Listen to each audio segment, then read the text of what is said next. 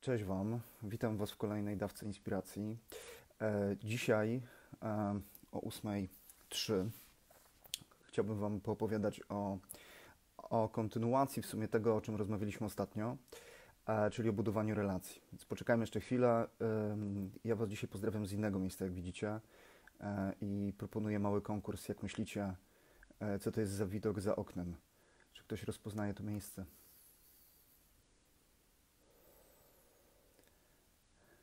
Macie pomysł może?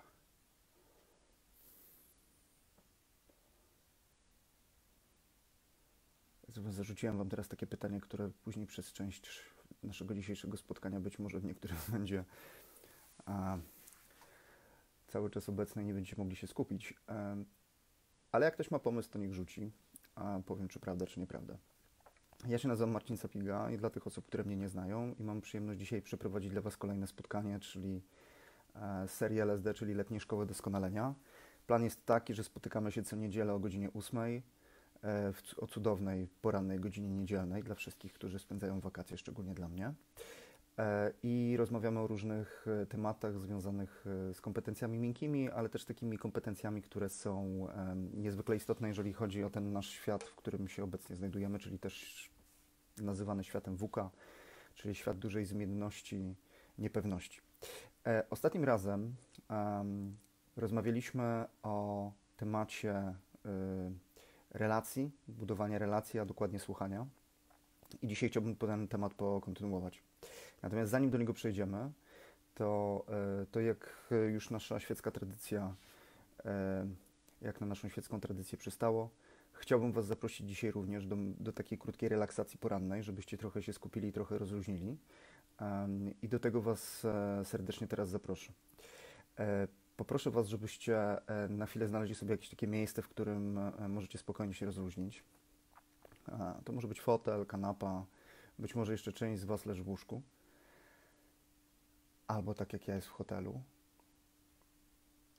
Znajdźcie sobie jakieś wygodne miejsce i przez moment skupcie się na spokojnym, regularnym oddechu. Zamknijcie oczy, Poczujcie, być może macie podłogę pod stopami, więc poczujcie podłogę pod stopami, poczujcie oparcie krzesła lub fotela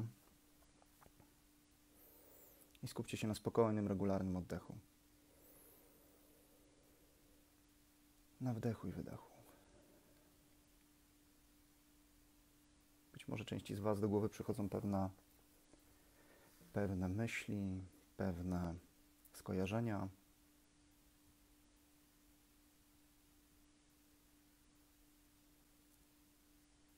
Przyjmijcie je po prostu i puśćcie je dalej.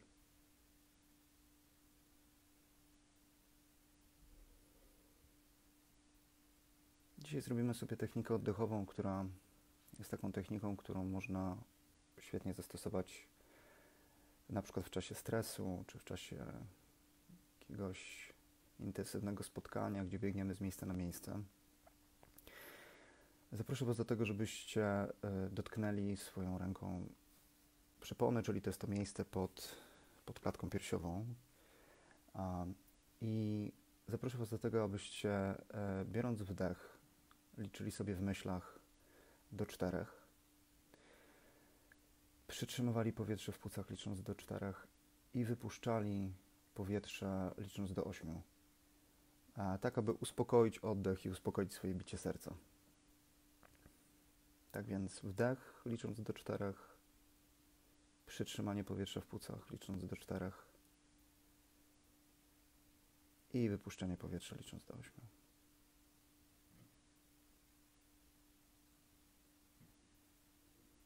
Jeszcze raz. Wdech, przytrzymanie powietrza w płucach i długi wydech.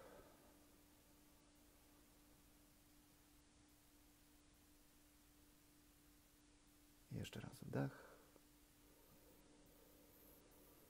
Możecie wdech robić nosem, przytrzymanie powietrza w płucach i dłuższy wydech.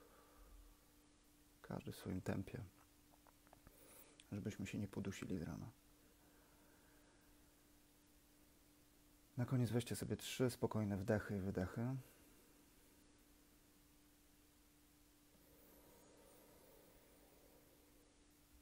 I kiedy będziecie gotowe, gotowi, możecie otworzyć oczy. Dobrze. Słuchajcie, ktoś dopiero teraz zaczął oglądać, to, to nie jest nowy Kaszpirowski, tylko to jest Capiga i nadaje dzisiaj do Was e, z letniej szkoły doskonalenia po to, żeby poopowiadać Wam trochę o kompetencjach miękkich. E, pytanie na początek było takie, nikt nie odgadł chyba, chyba że ja nie widzę jakiegoś czatu, który tu się dzieje, e, ale chyba nikt nie napisał, wyślijcie jakiś znak, że jesteście. Ja tylko widzę, że oglądacie transmisję, ale dzisiaj nie wiem, czy, czy tam tylko oglądacie, czy może moglibyście dać mi znać, że w ogóle jesteście. Było pytanie odnośnie tego, jak myślicie, skąd nadaje, więc jeżeli ktoś ma pomysł, to niech podrzuci. A ja rozwiążę zagadkę na sam koniec. E, moi drodzy, dzisiaj to, o czym bym chciał z Wami dzisiaj pogadać, to chciałbym e, pogadać z Wami o, e, o koncepcji budowania relacji, e, ale z trochę z innego punktu widzenia e, niż ostatnio. Ostatnio rozmawialiśmy o tym, że e, budowanie relacji ma dużo związku z słuchaniem, nie tylko z gadaniem, czyli od gadania często relacji się takiej głębokiej nie nawiązuje, chociaż niektórzy twierdzą, że dobra gadka potrafi nawiązać relacje. E, ale chyba na krótką metę. W każdym razie dzisiaj chciałbym z Wami pogadać o takiej koncepcji, która, e, którą poznałem e, parę lat temu. Jest to koncepcja zaczerpnięta z czegoś, co się nazywa analiza transakcyjna. Ja nie będę dużo tutaj teorii Wam opowiadał, bo, bo, bo chciałbym, żeby te spotkania były jak najbardziej praktyczne, ale kilka nazw dzisiaj padnie. Szczególnie, że w analizie transakcyjnej jest tak, że dużo się mówi o różnych nazwiskach i dużo się cytuje bo uważa się to za bardzo e, dobry zwyczaj. Generalnie uważam to za dobry zwyczaj, że jeżeli podrzucamy czyjąś koncepcję, to dobrze jest powiedzieć, kto jest jej autorem. No więc, czym są znaki rozpoznania, moi drodzy? Zanim, zanim opowiem o w ogóle koncepcji znaków rozpoznania, to chciałbym Wam powiedzieć o takim, o takim autorze, który się nazywa René Spitz. I René Spitz wprowadził e, w latach 40. XX wieku taką koncepcję, którą nazwał deprywacją emocjonalną. On odkrył, a robił badania w, w takich mm, sierocińcach, e, to były czasy wojny, e, odkrył, że dzieci, które e, mają taką deprywację emocjonalną, czyli nie są na przykład przytulane, rozwijają się gorzej. I, I odkrył to, że w zasadzie dla małego dziecka, później te badania powtarzano, później w, chyba w latach 60. Harry Harlow zrobił E, furorę takim, takim eksperymentem, który dzisiaj jest bardzo mocno dyskutowany, jeżeli chodzi o kwestie etyczne. To był taki eksperyment dotyczący e, małp, małych małpek, które e, łączono, oddzielano po urodzeniu od mamy i wrzucano do klatki razem z, albo z matką drucianą, albo z matką owiniętą w plusz. I okazywało się, że te małe małpki wybierały matkę owiniętą w plusz nawet wtedy, kiedy ta matka nie dawała im jedzenia, czyli chodziły do matki drucianej, która miała ukryte mleko, prawda, i karmiły się, a potem przeskakiwały od razu do matki pluszowej. E, I Harry Harlow w, taki, w, takim artykule, w takim artykule The Nature of Love opisał to właśnie jako przykład że, mm, tego, że miłość jest dla nas niesamowicie istotna. E, ona jest e, niesamowicie ważna. I, I, nawet ważniejsza niż jedzenie. Wolimy spędzać czas z osobą, która nie tyle daje nam jedzenie, co daje nam miłość. I u małych dzieci w szczególności ten, e, ta miłość jest dawana w sposób e, fizyczny i psychiczny. Tak? To małe dzieci uwielbiają się przytulać i jest taka e, koncepcja, którą, o której się dzisiaj mówi, że nie można dziecko przytulać za dużo. Znaczy można wbrew jego woli, to jest karalne, ale, ale jeżeli dziecko chce, to nie można go przytulać za dużo. I taki zimny chów, tak zwany, który kiedyś był modny, odszedł zapomnienie, bo okazało się, że właśnie te badania René Spica, które już są bardzo dawnymi badaniami, e, starymi badaniami, potwierdziły to, że e, no po prostu takie wychowanie bez dotyku, wychowanie bez bliskości powoduje, że my po prostu rozwijamy się gorzej, nawet fizycznie rozwijamy się gorzej. Więc lubimy, więc lubimy e, bliskość. Natomiast im bardziej się rozwijamy, im robimy się starsi, tym ta bliskość trochę zaczyna e, się e, zmieniać. To znaczy, nadal lubimy bliskość, nadal lubimy się do kogoś przytulić, w szczególności do osoby, którą kochamy, prawda, do osób bliskich, rodziców czasami, czasami są to przyjaciele, prawda, czasami jest to po prostu partner albo partnerka.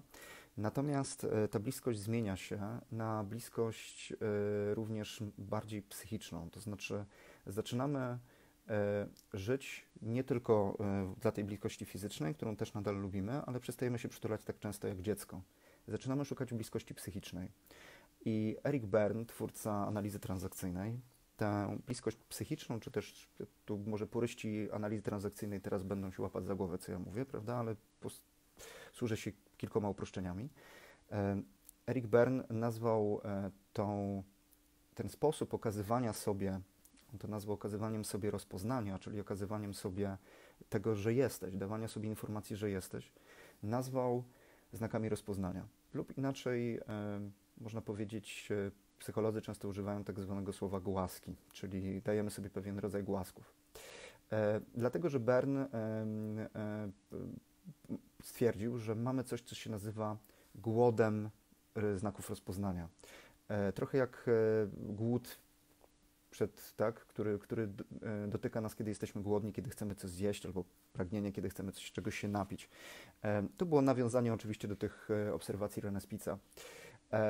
Czyli potrzebujemy bliskości, potrzebujemy miłości i potrzebujemy tego, żeby ktoś zwrócił na nas uwagę. I ten e, rodzaj znaków rozpoznania e, może być różny. Znakiem rozpoznania jest zarówno to, że ja cię przytulę, albo powiem ci, hej, świetnie dzisiaj wyglądasz, albo powiem, słuchaj, to jest naprawdę świetna robota. E, znakiem rozpoznania może być też środkowy palet wystawiony przez okno, gdy jedziemy samochodem. E, lub uderzenie kogoś w twarz. E, więc znaki rozpoznania mogą być zarówno pozytywne, jak i negatywne. E, I wydawać by się mogło, że my oczekujemy tylko tych znaków pozytywnych, ale okazuje się, że znowu badania psychologiczne pokazują, że my, kiedy mamy deprywację znaków rozpoznania, czyli mamy ich mało, to tak naprawdę szukamy tych znaków w jakikolwiek sposób i jesteśmy w stanie wywoływać nawet u niektórych osób chęć zaatakowania nas, albo jak powiemy za chwilę, zagrania w pewne gry psychologiczne, po to, żeby tych znaków dostać więcej. I nawet negatywnych. Mm, I to również badania, obserwacje na przykład dzieci z domów dziecka właśnie pokazują często, że dzieci, które mają mało miłości, mają mało przytulania, prowokują agresję. Dlaczego? Bo wolą dostać manto niż, niż nic. E, I my również na co dzień, kiedy mamy mało znaków e, rozpoznania, mamy mało bliskości z ludźmi, e, zaczynamy grać w dziwne gry. Robimy to często nieświadomie, po to, żeby dostać tę bliskość.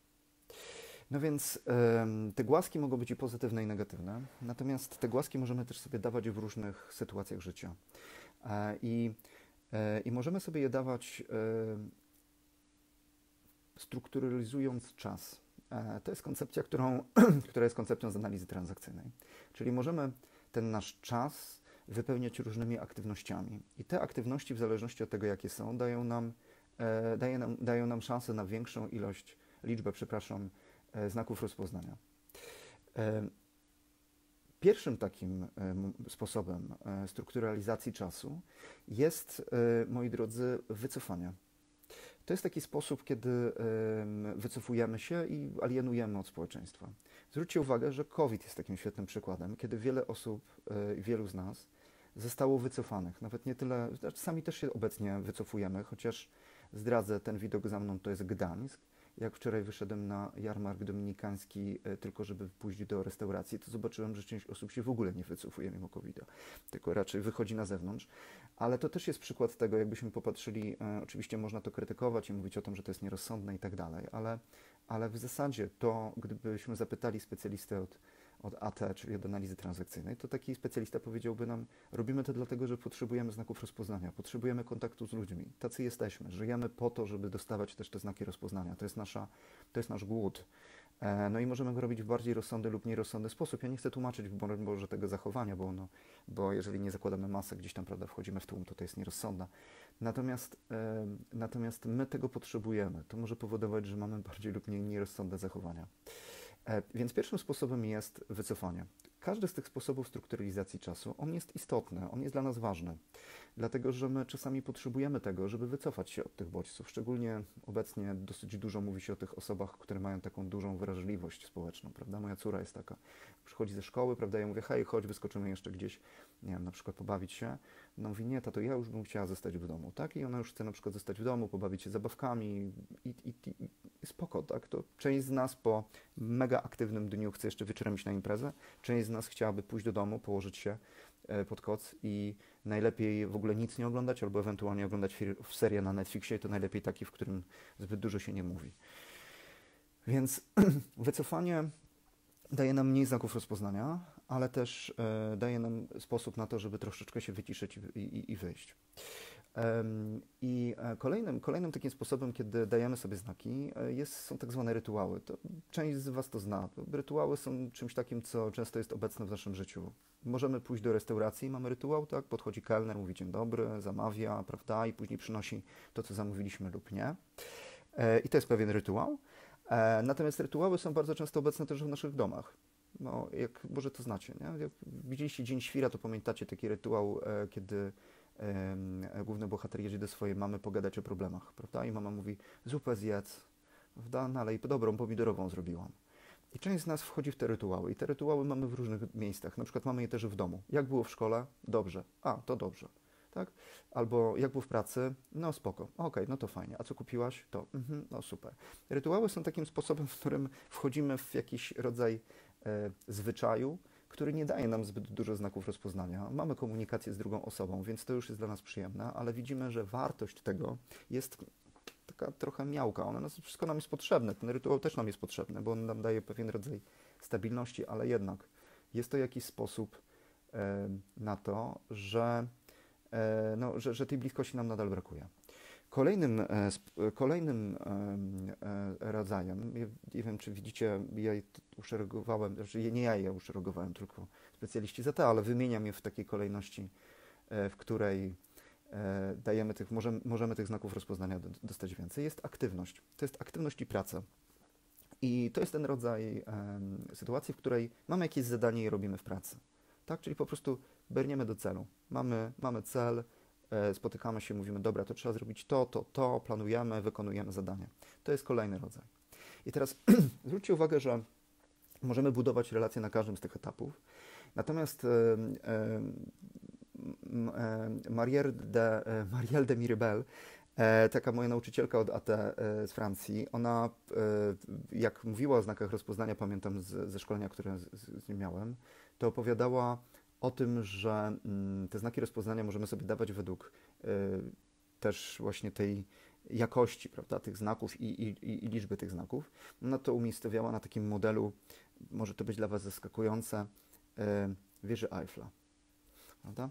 Więc y, wieża Eiffla, jak wiecie, ona się tak, prawda, od, jest, od, jest takim, można powiedzieć, kształcie takiego trójkąta, tak? E, który e, ma u góry więcej, e, u góry mniej, przepraszam, przestrzeni, objętości, u, u dołu więcej, jak to trójkąt zazwyczaj, stojący na podstawie.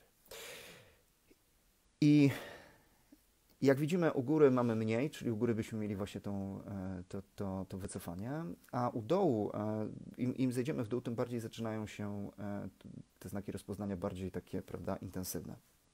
Natomiast u dołu ta wieża Eiffla się roz, rozchodzi na dwie części. I rzeczywiście tutaj też te znaki rozpoznania będą nam się rozchodzić, bo do tej pory mówiliśmy o znakach rozpoznania, które są w jakiś sposób, można powiedzieć, neutralne. Tak? Natomiast y, im zejdziemy niżej, tym więcej mamy takich y, sposobów wchodzenia w relacje, w których y, możemy to robić w sposób pozytywny albo negatywny. I na dole znajdują się innymi rozrywki. Rozrywki dają nam dużo znaków rozpoznania, to jest sposób, w który spotykamy się z ludźmi i nawiązujemy relacje, i nawiązujemy relacje, ale w taki sposób, że sobie żartujemy, prawda? Czyli y, śmiejemy się, bawimy i to jest świetne. Myślę, że bardzo dużo brakuje nam rozrywki w dzisiejszych czasach, przez to, jak, jak, wygląda, e, jak wygląda sytuacja covidowa i pokowidowa. Bo to jest moment, w którym się spotykamy. Ja na przykład jak robię szkolenia w firmach, to często ludzie mówią o tym, że oni lubią szkolenia stacjonarne, nie dlatego, że one są jakieś, prawda, y, mega lepsze pod względem y, jakości przekazywanej wiedzy, bo jak ktoś umie zrobić szkolenie dobre online, to myślę, że zrobi je świetnie. E, ale z tego względu, że brakuje tym ludziom tego, że oni mogą sobie w przerwach usiąść i pogadać, albo po szkoleniu chwilę ustanąć i powiedzieć, hej, co u Ciebie, a dawno Cię nie widziałem, a co tam, prawda, ostatnio się widzieliśmy gdzieś tam na takim i takim szkoleniu. Więc te rozryw, roz, rozrywki i ta rozmowa e, to jest coś, czego nam bardzo mocno brakuje. E, natomiast rozrywki mogą być i pozytywne, i negatywne. Dlatego, że możemy, rozrywką jest również plotkowanie o kimś, prawda? czyli mówienie, hej, widziałeś Hania? widziałaś ją po prostu, słuchaj, widziałaś, jakie założyła buty dzisiaj, po prostu, ale w porównaniu do tamtych to i tak jest nieźle. Tak, to jest, to jest rozrywka.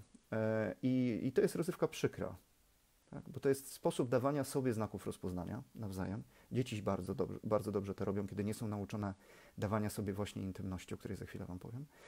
E, naśmiewanie się z kogoś. To jest rodzaj dawania sobie wzajemnie znaków rozpoznania. Hej, jesteśmy fajni, mamy wspólny temat, bo nabijamy się z kogoś. To jest oczywiście przykre, ale to jest też sposób dawania znaków. To oczywiście e, nie jest dobry sposób budowania relacji, szczególnie no, jeżeli e, chcemy budować relacje też z tą osobą, z której się naśmiewamy. Natomiast no, jest to sposób, który jest płytki. Po lewej stronie, znowu jeżeli mówimy o tych negatywnych znakach rozpoznania, mamy też coś, co się nazywa gry psychologiczne. I gry psychologiczne bardzo często gramy na co dzień. Gramy w domu, gramy w pracy, gramy w nie wszyscy. Nie, da, nie ma szansy w nie nie grać. Niektórzy psycholodzy i coachowie, y, my, czasami niektórzy myślą, że w nie nie grają. O, oni w nie grają, tylko jeszcze z większą, słuchajcie, precyzją y, i przemyśleniem, bo mają wiedzę. Więc, y, więc gra psychologiczna to jest coś, co dotyka nas wszystkich. I to jest sposób załatwiania sobie tych znaków rozpoznania, o których mówiłem wcześniej, tych głasków, ale w taki sposób, który nam niestety mm, dostarcza ich, ale nie w taki właśnie też fajny, naturalny sposób. I tego się nauczyliśmy w dzieciństwie bardzo często. Zwróćcie uwagę, że mamy być może w dzieciństwie, kiedy na przykład byliśmy chorzy, na przykład na co dzień rodzice nie dawali nam zbyt dużo tych znaków rozpoznania, nie mówili do nas hej, przytul się i tak dalej, ale kiedy na przykład wpadaliśmy, nie wiem, na grypę, to wtedy na przykład mama albo tata zostawał z nami w domu i wtedy się nami zajmował. E, i dawał nam jedzenie, prawda, głaskał, spędzał z nami czas. To być może nieświadomie nauczyliśmy się tego, że kiedy jesteśmy e, chorzy, albo jesteśmy e, przeziębieni, albo coś jest z nami nie tak, to ludzie dają nam tych znaków więcej. Więc na przykład zaczynamy wpadać w taką grę, którą Eric Bern opisał w książce Co grają ludzie. Na przykład jest gra Drewniana noga. Nazwa pochodzi od, od sytuacji, od osób, które były kalekami po, e, po, e, po II wojnie światowej, bo Eric Bern pracował w szpitalu psychiatrycznym dla tych osób. E, I to były osoby, które traciły nogę i w tym, czasie jeszcze te nogi były często drewniane i, i właśnie to były takie osoby, które bardzo mocno mówiły o swoim nieszczęściu po to, żeby dostać dużo wsparcia. Czyli my w, też wchodzimy w taką rolę, prawda? Czyli przychodzimy do domu i mówimy, oh my god, Boże, jaki miałem dzisiaj zły dzień, słuchaj, było fatalnie, po prostu było, wszystko było do niczego. No i ten nasz bliski w domu może na przykład wejść w taką rolę rodzica opiekuńczego, powiedzieć, chodź, przytul się, wszystko będzie dobrze. Tak? I pół biedy, jeżeli to tak wygląda, jak przed chwilą powiedziałem, bo my sobie wtedy dajemy to, co chcemy, chociaż w taki sposób nie wprost to e, oczywiście można byłoby sobie też wyobrazić taką sytuację, kiedy nasz partner nie wejdzie w rolę rodzica opiekuńczego, tylko w takiego rodzica normatywnego i powie, e, ale ty mógłbyś się wreszcie ogarnąć, prawda? Albo mogłabyś się wreszcie ogarnąć i, i, i, i załatwić tą sprawę, bo ciągle przychodzisz i jesteś zmęczona, nic z tym nie robisz. Prawda? No więc, e, więc my, my, gramy w te gry na co dzień. Gramy w gry e, w związkach, gramy w gry w pracy, e, gramy w gry ze swoimi rodzicami, ze swoimi dziećmi, prawda? Gramy wszędzie. Jedno z takich moich ulubionych gier, na której ja czasami też się łapię, to jest gra Tu Cię Mam. To jest taka gra często, w którą gramy w relacji, czyli na przykład partnerka albo partner wiem, kładzie na stole kubek i my mówimy, o, zobacz, położyłaś kubek, i nie postawiłaś podkładki, prawda? I co mokre się leje tutaj na ten drewniany stół. A zawsze to mi mówisz, że to jest tu cię mam, tak? I to w ten sposób zaczynamy grać i dostawać dużo, dużo takich znaków, że a, jesteśmy ważni, prawda? A kiedy nam brakuje tej bliskości, to ta gra daje nam dużo bodźców i jest, jest ok. To oczywiście wszystko dzieje się nieświadomie. Jeżeli by się działo świadomie, to nazwalibyśmy to manipulacją. Gry psychologiczne są nieświadome. I moi drodzy, i dochodzimy do tematu, do, do, do, prawej strony. Tam też jest oczywiście rozrywka, jest dużo zabawy, jest dużo fanu i to jest przyjemne i to jest fajne. To jest bardzo fajny sposób dawania sobie e, bliskości i tego powinniśmy sobie dawać dużo w bezpieczny sposób, może nie tak jak na jarmarku. E, natomiast e, jest jeszcze, e, jest jeszcze jedna e, ostatnia i myślę, że taka najważniejsza część tego, co powiedziałem przed chwilą, to jest intymność. E, I intymność jest takim rodzajem dawania sobie bliskości i budowania relacji, w której budujemy relację opartą na otwartości i na, e, i na tym, e, jak na, na, na, na otwartości i można powiedzieć na sercu i na prawdzie. Czyli taki rodzaj budowania bliskości, w którym mówimy komuś wprost, za co go lubimy, mówimy komuś wprost, czego potrzebujemy co jest oczywiście niezwykle trudne, bo często sami musimy sobie zdać sprawę z tego, co czujemy i czego potrzebujemy. Na ten temat można byłoby przeprowadzić oddzielną e, dawkę LSD. E, natomiast e, jeżeli ja wiem, że mi brakuje Twojej bliskości, kiedy jestem zmęczona albo zmęczona, to nie wracam do domu i nie gram w drewnianą nogę, mówiąc, oh my god, jak było dużo pracy, prawda? I partner, który nie daje nam tej bliskości, dostaje po głowie i mówimy, no myślisz, że po co ja ci to, o tym opowiadam? Po to, żeby ci tylko o tym opowiedzieć? Chyba e, po to, żebyś okazał jakieś wsparcie i współczucie, a ty tylko siedzisz i oglądasz, prawda? I tak dalej. Tylko żebyśmy otwarcie się komunikowali, otwarcie mówili, czego potrzebujemy. Czyli jeżeli wracamy z domu um, i potrzebujemy bliskości, można powiedzieć wprost, hej, miałem dzisiaj ciężki dzień e, i wiesz co, strasznie potrzebuję, żebyś mnie przytuliła albo mnie przytulił, e, bo bo wtedy zrobi mi się lepiej e, i zawsze mi się robi lepiej, jak mnie przytulasz. Ta intymność nie musi być dawana w domu, bo tak jak przed chwilą pokazałem taki przykład z, wasze, z, z, z domu rodzinnego, tak? ale ta intymność może być dawana też w pracy. Ja nie muszę e, mówić swojemu koledze, e, że go uwielbiam i kocham, ale mogę powiedzieć, że po prostu świetnie mi się z nim pracuje. Mogę powiedzieć o po projekcie, Hej, wiesz co, e, Michał, jak e, pracujemy razem, to e, zawsze mogę na Tobie polegać i bardzo Ci dziękuję za ten projekt. To była ogromna przyjemność pracować z Tobą. I takie danie feedbacku, czy takie danie informacji jest bardzo z poziomu intymności, jest z poziomu serca i też wymaga bardzo dużej odwagi, bo musimy się odsłonić. Oczywiście w firmie bardzo często możemy się w ten sposób też wystawić na żarty. Moja nauczycielka Asia Goskot analizy transakcyjnej mówi, że to są tak zwane stalowe pieszczoty, szczególnie u mężczyzn obecne, czyli na przykład jak powiemy hej, e, bardzo Cię lubię, lubię z Tobą pracować, to na przykład możemy z drugiej strony od razu usłyszeć, co Ci się stało, prawda, albo e, chcesz się ze mną mówić na randkę i tak dalej. Jest dużo żartów, prawda, wokół tego, dlatego, że faceci bardzo często nie potrafią okazywać emocji, więc w związku z tym zaczynamy dużo żartować i okazujemy sobie tę bliskość, szczególnie między facetami, właśnie w postaci rozrywki. Moi drodzy, dużo dzisiaj gadałem. E, e, mało Was pytałem, ale to dlatego, że mam problem techniczny. Mianowicie nie wyświetlają się w ogóle Wasze komentarze dzisiaj i przeczytam je dopiero po tym wystąpieniu, więc bardzo Was przepraszam, że nie odwoływałem się do Waszych różnych, pewnie bardzo ciekawych skojarzeń. Bardzo dużo eksperymentuję ostatnio z tymi webinarami i dzisiaj chciałem go zrobić w poziomie. Okazuje się, że w poziomie w ogóle nie widzę tego, co piszecie. Chciałbym Was zaprosić dzisiaj do krótkiego ćwiczenia na koniec. Chciałem Was zaprosić dzisiaj, w ogóle chciałbym Was zaprosić do intymności dzisiaj, czyli chciałbym, żebyście dawali sobie dużo, dużo intymności dzisiaj. E, I nie tylko dzisiaj, ale w ogóle e, w życiu. I, I rzeczywiście komunikowali wprost. I chciałem Was zaprosić do tego, żebyście e, zrobili sobie kilka takich prostych ćwiczeń mm, w, tą, w tę piękną, słoneczną niedzielę. Po pierwsze, żebyście dali sobie dzisiaj kilka dobrych znaków rozpoznania, dali je komuś, mówiąc wprost, komuś, komu być może dawno takich znaków rozpoznania nie dawaliście. To mogą być wasze dzieci, ktoś bliski. Być może to jest nawet ktoś, z kim macie różne relacje, ale zrobił coś, co jest naprawdę miłe. Po drugie, chciałbym, żebyście mm, zadali sobie też pytanie, jakie znaki rozpoznania chcecie przyjmować, a jakich nie chcecie przyjmować. Bo e, środkowy palec jest też znakiem rozpoznania, przypominam. I być może na przykład jadąc ulicą, gdy widzimy kierowcę, który krzyczy na nas dlatego, że idziemy trochę wolniej, bo szukamy drogi, być może to są znaki, których nie chcemy przyjmować. Chcemy, żeby one jednak nie dochodziły do nas, albo przynajmniej nas nie osłabiały. Więc e, zastanówcie się też nad tym, jakie znaki chcecie brać do swojego serca, a jakich nie chcecie i jakich przyjmować nie chcecie.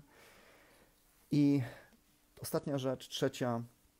Zaproszę Was też dzisiaj do tego, żebyście dali sobie dzisiaj i dały dzisiaj sobie w ciągu e, naszego dnia e, i być może całego tego tygodnia do kolejnego spotkania, żebyście dali i dały sobie też znaki rozpoznania odnośnie tego, jacy Wy jesteście w różnych sytuacjach. Bo znaki rozpoznania możemy dawać nie tylko komuś, ale możemy też dawać sobie, mówiąc: Hej, jestem z siebie dumny, że zrobiłem dzisiaj ten webinar e, o 8 rano w niedzielę, mimo tego, że trudno mi było trochę wstać i mimo tego, że nie widzę Waszych komentarzy, więc trudno mi trochę nawiązać e, z Wami relacje i czuję się trochę jakbym do Was mówił, ale nie wiem jaka jest, jaki jest Wasz odbiór.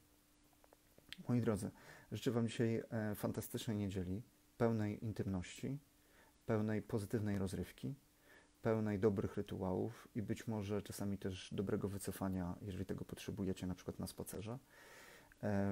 Pozdrawiam i ściskam Was serdecznie i widzimy się e, za tydzień w niedzielę o godzinie 8 na kolejnej dawce LSD, a w ten wtorek, jeżeli macie ochotę, to dołączcie do WK nocą na spotkanie z Marysią Belką, bo będziemy rozmawiali też o bardzo fajnym nawyku i fajnej kompetencji, o której pewnie też podczas tego LSD po, po, poopowiadam Wam. Między innymi o uczeniu, oduczaniu się różnych rzeczy, e, co jest kompetencją cholernie istotną, a w dzisiejszych czasach i w przyszłości myślę taką kompetencją pozwalającą nam w ogóle przetrwać. Pozdrawiam Was. Wyślijmy sobie dużo serduszek, czyli dużo intymności. Już dzisiaj możemy używać tego słowa, bo wszyscy wiemy o co chodzi.